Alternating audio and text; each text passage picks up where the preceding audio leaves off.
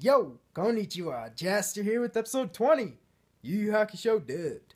So, for copyright purposes, click the link in the description. You'll be redirected to Google Drive. You can watch my reaction there.